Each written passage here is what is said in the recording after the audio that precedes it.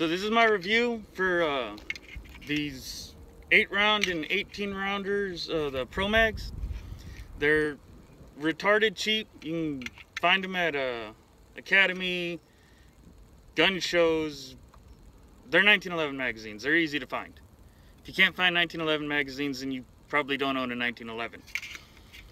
But, uh, honest opinion, things are total fucking garbage. These they don't fucking drop free when you're done.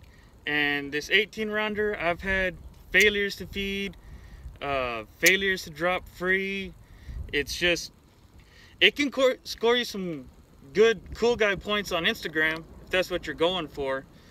But uh, honest opinion, if you want some training magazines that you have to learn to deal with, then uh, go ahead and get these. But to trust your life to, get yourself some Wilson Combat, get some Chip McCormick's, Ed Brown, get good quality magazines for your everyday carry, whether you conceal carry, law enforcement, military, whatever it is you do that you need a gun, and if you are smart enough to choose a 1911, get good magazines. Now, nobody cares about 1911 magazine reviews, so here's some cool guy shit.